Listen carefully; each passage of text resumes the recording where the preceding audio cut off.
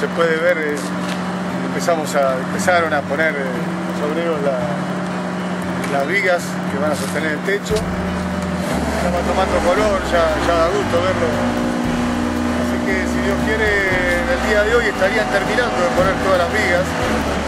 Las primeras siempre demoran un poco más, pero ahora ya después se agarra ritmo y así que son las 11 de la mañana, se calcula que a las 6, 7 de la tarde estarían terminadas todas las vigas. Ahí ya deja de trabajar la, grúa y ellos siguen armando ya todo lo que es, todos los perfiles como estos que vemos en el piso, a ver si lo pueden mostrar, como estos que vemos acá.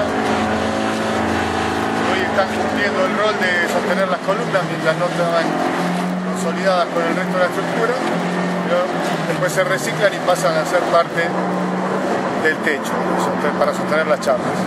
Así que bueno, en una semanita ya no nos mojamos acá abajo, es todo un, hito dentro del proceso.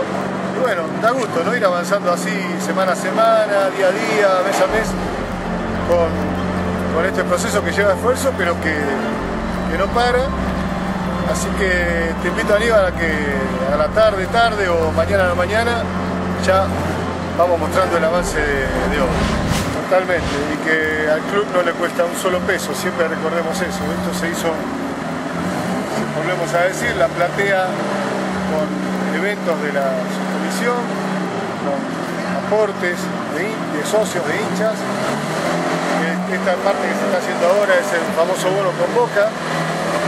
y así seguirá seguramente con aportes de la gente ya antes de fin de año, si Dios quiere, lo vamos a tener terminado y pagado íntegramente con, el aporte de la gente, que a la vez no son tan, tan pesados. Estamos hablando de bonos de 20 pesos, 30 pesos, eh, para una satisfacción así, y un, futuro uso y, plasmar la vuelta en un edificio fundamental como es recuperar el, el Salón San Martín de Avenida La Plata. Segundo este, lugares de importancia dentro de lo que era el club. Allí pasaron muchísimas cosas y muchísimas vidas, así que recuperar eso de esta manera es maravilloso y muestra que se puede, muestra que no hace falta jeques árabes, hace falta muchos corazones azulgrana y eso es lo que sobra, así que somos ricos, somos millonarios porque tenemos eso.